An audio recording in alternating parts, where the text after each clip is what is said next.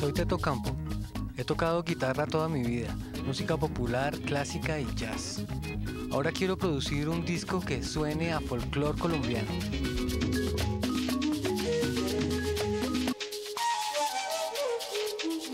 Soy León David Cobo, músico clarinetista. Me encanta enseñar. Quiero que mis estudiantes conozcan el país a través de sus instrumentos tradicionales.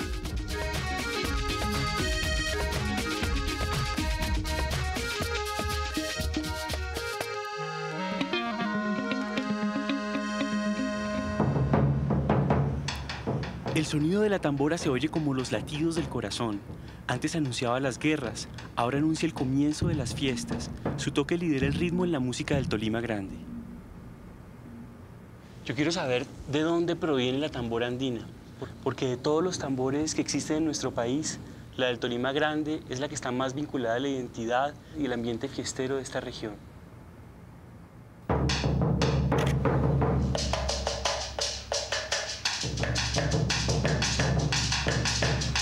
Para comenzar, voy a observar el ensayo del grupo Nueva Cultura en Bogotá, que interpreta música popular del Huila y el Tolima, experimentando con los timbres y haciendo nuevos arreglos.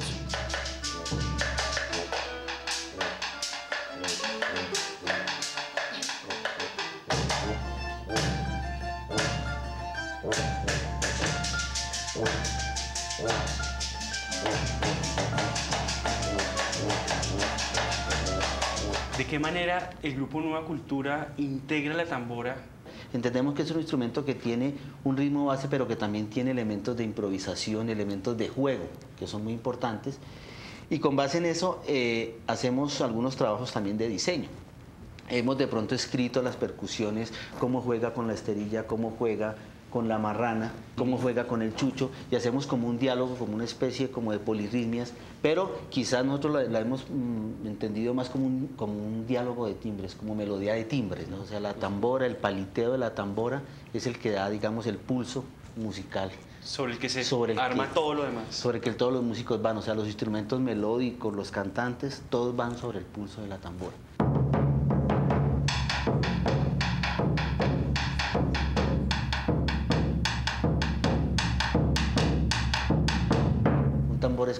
Un piano porque tiene matices, tiene articulaciones, tiene intensidades, tiene... Es decir, tiene una cantidad de cosas que uno diría pues hay que explotarlas y, y pensamos que lo acústico es un mundo que hay que seguirle explorando.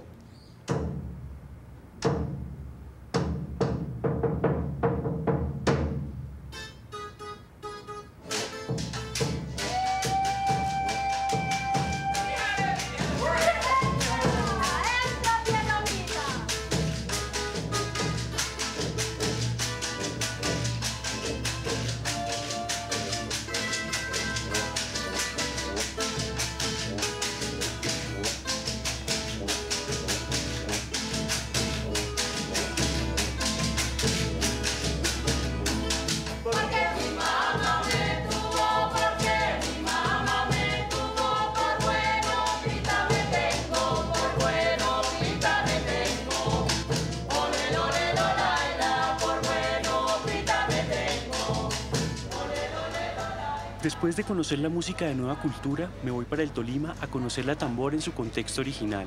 Son tres horas de viaje hasta el Espinal, mi próxima parada.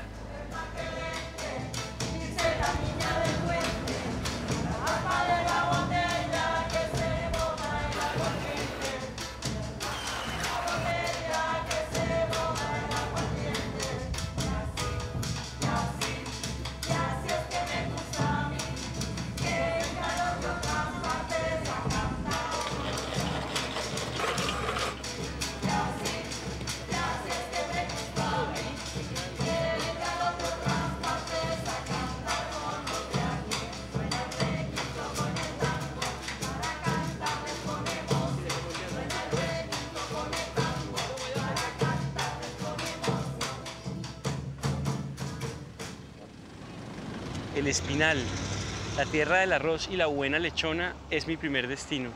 Aquí se celebra el Festival Nacional de Tambora. Voy a encontrarme con un reconocido compositor y constructor de tambora que además fue el que diseñó este gran monumento. Augusto Cerver es un personaje sin igual. Cuenta que en un sueño su padre le ordenó hacer el monumento y le dijo la forma en que tenía que construirlo. Cuando mi papá murió, tuve un sueño con él, eh, dialogando, charlando, y yo le dije, bueno, voy a hacer este monumento.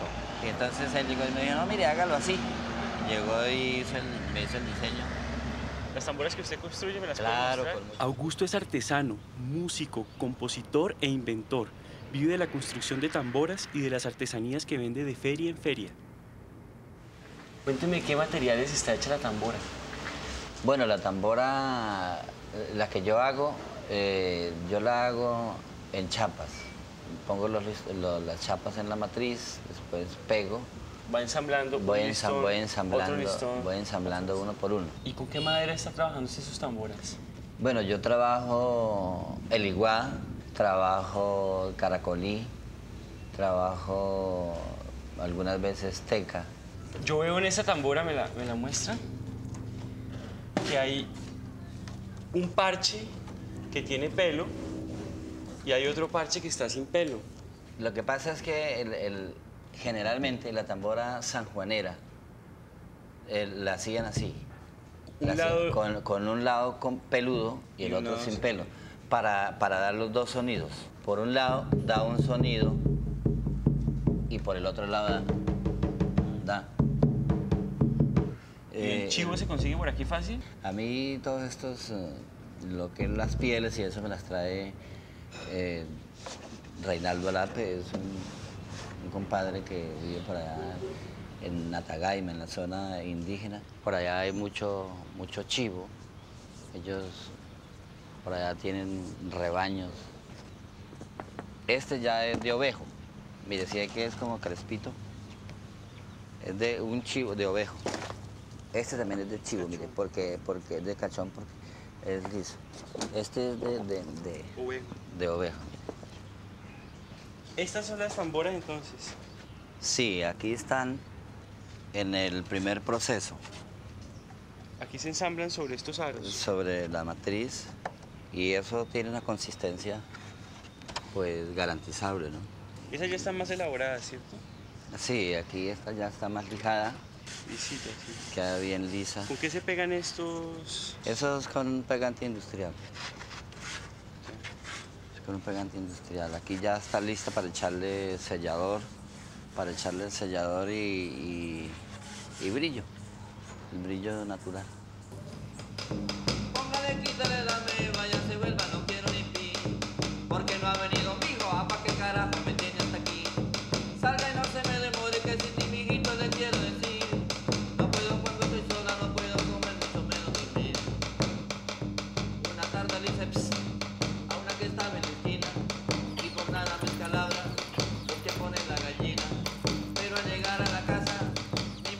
La producción de arroz, el Espinal es conocido por su tradición artesanal y por su rica comida.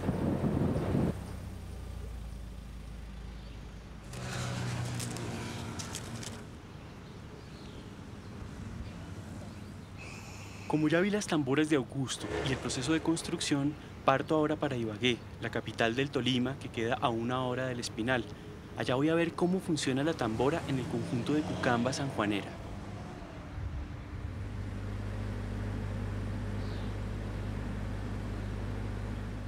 Ibagué es llamada la ciudad musical del país. En esta ciudad se celebra el festival folclórico que reúne a grupos y a músicos tradicionales. Aquí me cité con Germán Gil, un músico e investigador que ha escrito varios libros sobre los instrumentos tradicionales del Tolima Grande. Con él voy a averiguar si existe una versión oficial sobre el origen de la tambora. Cuéntame, ¿de dónde viene la tambora? ¿Cuál es la procedencia de este instrumento? Bueno, la tambora, eh, como tú sabes, es un instrumento universal. Es un instrumento que se encuentra en todas las culturas y, con, con, este tipo de construcción eh, lo encontramos más o menos desde el neolítico hasta la época actual. En nuestro país, pues eh, en la mayor parte de las, las, tribus indígenas eh, existentes, cuando al llegar los conquistadores, tenían sus instrumentos. En ese entonces, los españoles lo llamaban a tambores. ¿no? La, palabra, la palabra viene del persa, tabir, luego se nasaliza al árabe at-tabur, y luego al español antiguo, a tambor, y nos llega ya al término que nosotros conocemos como tambor y a tambor, ¿no? a tambor y tambor. Y tambora, que en el caso del Tolima.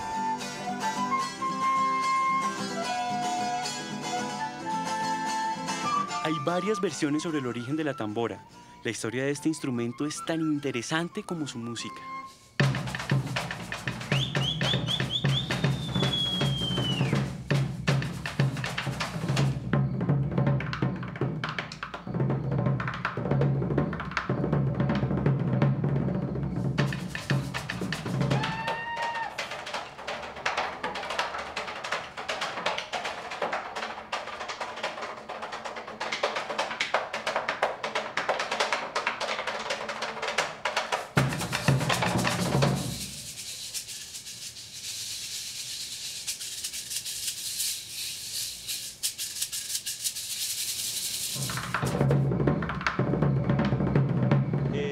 Gustaría, Germán, que me explicaras cuál es la función de cada instrumento dentro del grupo mestizo y dentro de las agrupaciones tradicionales. La parte melódica la hace la flauta.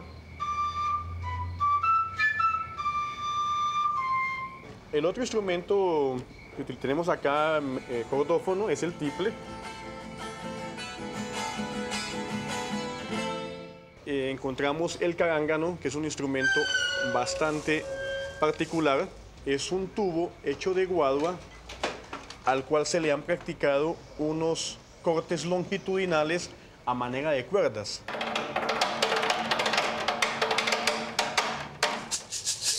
Este es el chuche, es un instrumento hecho de guadua con semillas en su interior, semillas principalmente de achiga, una semilla negra y lleva travesaño.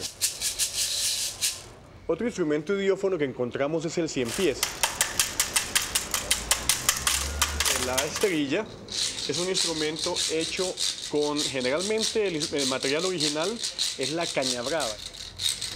Es un tambor de frotación de origen africano que es la puerca.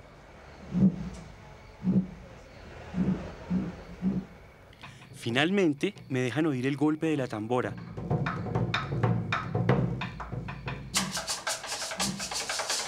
alrededor del cual se organizan todos los demás instrumentos.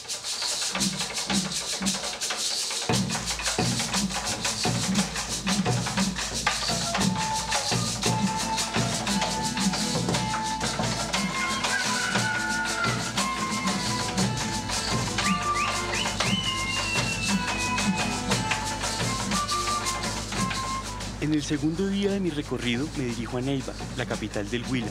Al llegar, me encuentro con el río más largo de Colombia.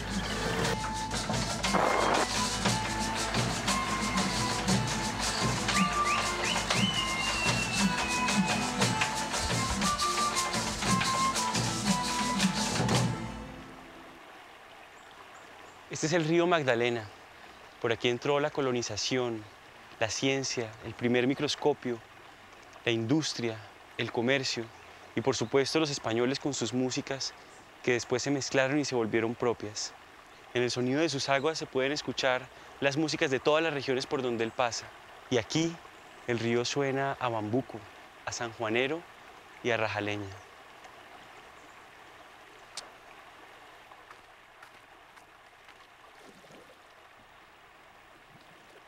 Yo también quiero sentir y registrar lo importante que es pasar por el Magdalena.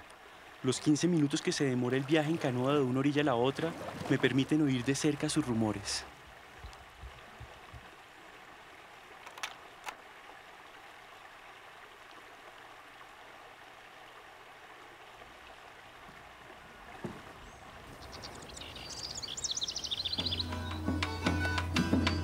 En el Huila la agrupación musical típica se llama rajaleña y toca los mismos ritmos que toca la cucamba en el Tolima, más el ritmo de rajaleña, en donde por supuesto también está presente la tambora.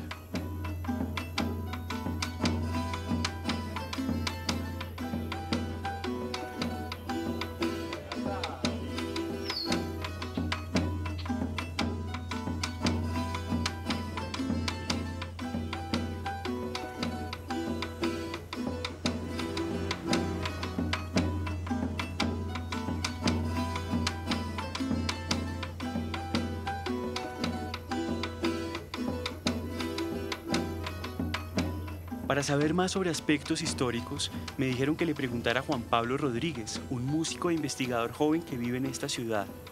Juan Pablo interpretará rajaleñas en compañía de Ulises Charri. Juan Pablo, cuéntame de dónde viene la tambora. ¿Es de origen español? ¿Ya existía la tambora acá? En algunos documentos que he leído, eh, dice que ese instrumento evolucionó como de, en forma simultánea en, muchas, en muchos lugares del planeta, que básicamente pues eran instrumentos para, comuni- para comunicarse ¿no? y para rituales. Sí, la música no, no tenía, digamos, la función, las funciones sociales que tiene hoy, era, era más limitada o inclusive más espiritual tal vez. Hablemos del formato rajaleña, que es el formato de acá de Neiva. ¿Qué repertorio se interpreta con ese formato? Básicamente es eh, el rajaleña como expresión propia, ¿sí?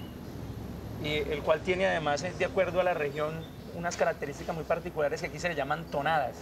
Hay cuatro muy representativas. Aquí, digamos, en los alrededores de Neiva se llama la, tonada de Peña Blanca. Calzones de mi novia y los calzones de mi novia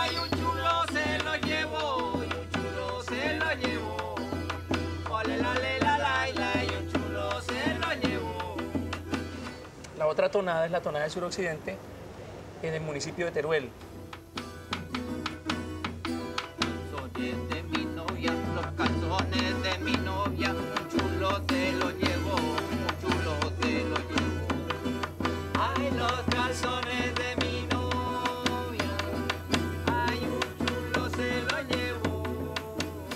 Su diferencia básicamente se da en la forma de cantar la copla y en la forma de cantar los estribillos. Está la tonada de fortalecillas.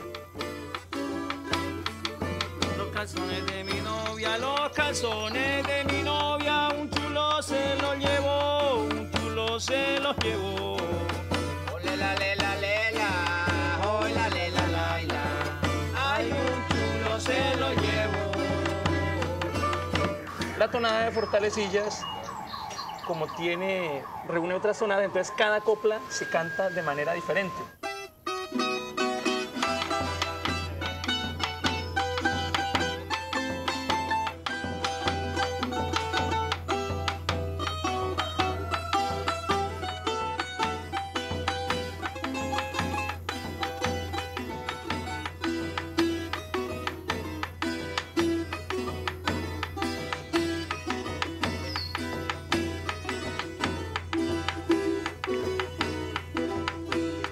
Cuénteme cuál es el origen de, esto- de estos cantos de rajaleña.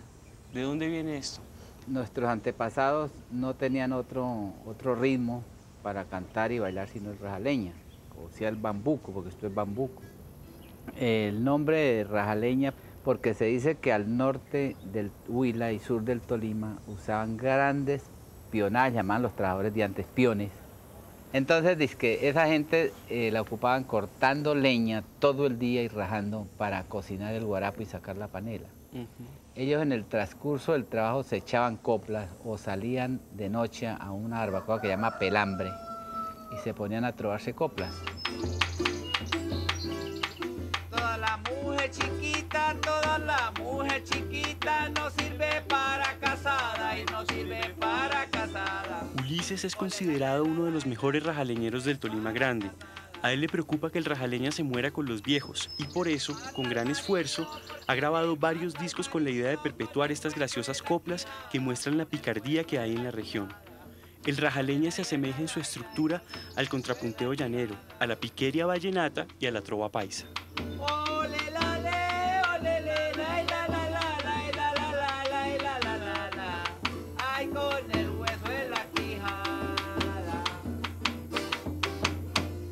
Hablemos del sanjuanero. Bueno, el sanjuanero es un, es un- el sanjuanero es una variante del bambuco, del bambuco colombiano, característico de esta región, de eh, norte del Huila, sur del Tolima.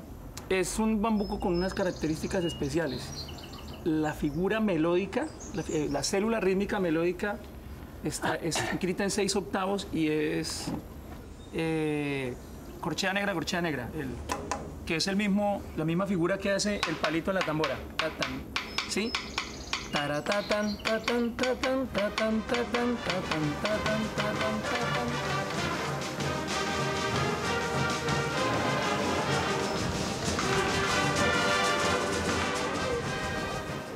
Hoy es el último día de mi recorrido por esta región. De regreso a Bogotá, me desvío y vuelvo y vagué porque me hizo falta conocer la tambora en un formato poco convencional.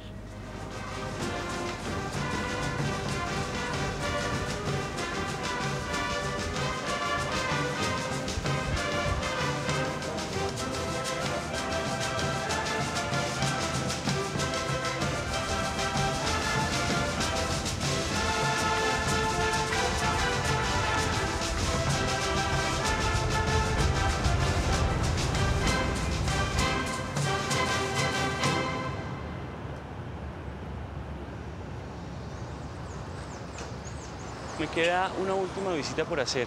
Voy a encontrarme con la banda sinfónica del Conservatorio del Tolima. No es que mi interés ahora haya cambiado de la tambora a la banda, al contrario, es porque esta banda de vientos utiliza la tambora dentro de su repertorio e interpretan canciones de Cucamba.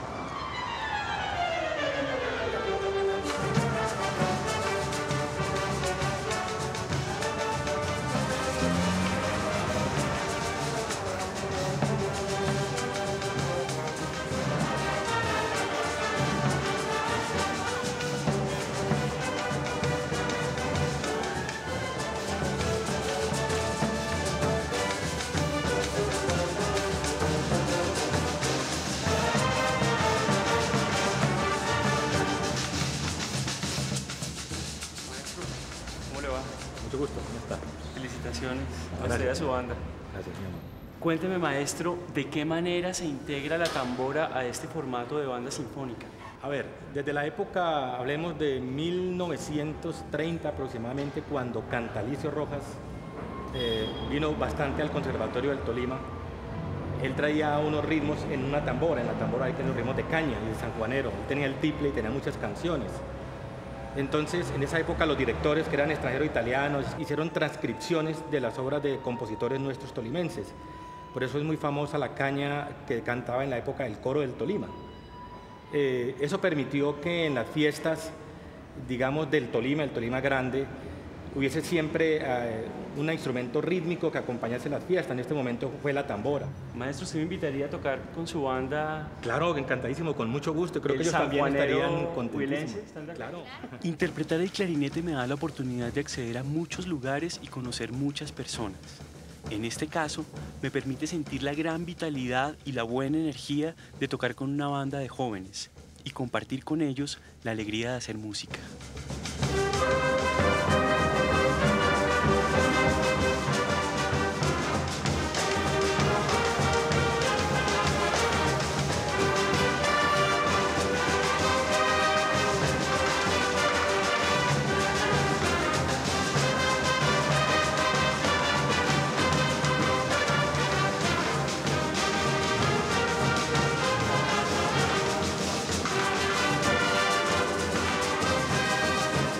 Tocar con la banda es un momento muy emocionante para mí y al oír el golpe de la tambora puedo sentir el latido de mi corazón y el de los 40 músicos que me acompañan. Así palpita el corazón de los habitantes del Tolima Grande, a ritmo de sanjuanero.